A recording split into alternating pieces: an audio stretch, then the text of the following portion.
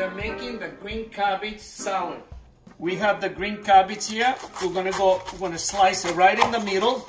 Then we're gonna take the hard part out. What I like to do, put it down.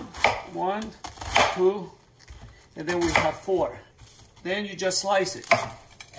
I've been doing this for a long time.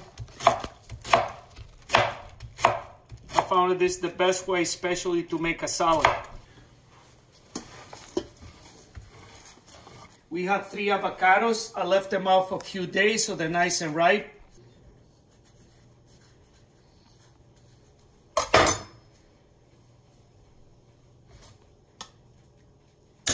Okay, we'll take the avocados out. So what are we doing right now? We're gonna dice the avocados. Right into the salad. A half a teaspoon. If you like more salt, you add more salt. If you put too much salt right now, then you can never take it back. But you always can add more salt. Three tablespoons of olive oil.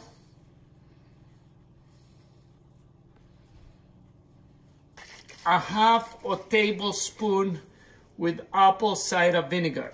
We are mixing the green cabbage with avocado right now.